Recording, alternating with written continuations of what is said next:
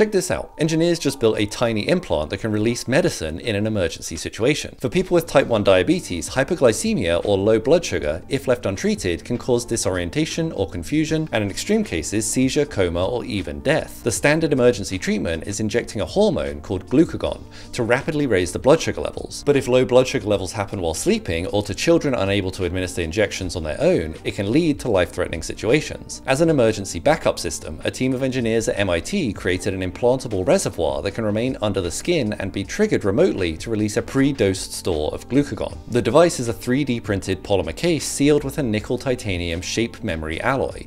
It holds a powdered form of glucagon, enabling the medicine to survive in the body for potentially up to a year. When triggered by a wireless signal or something like a continuous glucose monitor alarm, the alloy is heated to about 40 degrees C, causing it to bend open and release the dose. When tested in diabetic mice, the researchers used it to trigger glucagon release as the animal's blood sugar levels were dropping. And within less than 10 minutes of activating, the animal's blood sugar levels began evening out, avoiding hypoglycemia. In this study, the researchers kept the devices implanted for up to four weeks, but now they plan to see if they can extend that lifetime to at least a year, and hope to begin testing the devices in clinical trials within the next three years. This could be a game changer in preventing hypoglycemic events for type 1s, but it also could be used to deliver other emergency medicines, maybe in the event of a heart attack or stroke, or maybe just releasing aspirin as soon as your in-laws arrive. If you like science and always knew the human body needed more fail-safes, follow for more.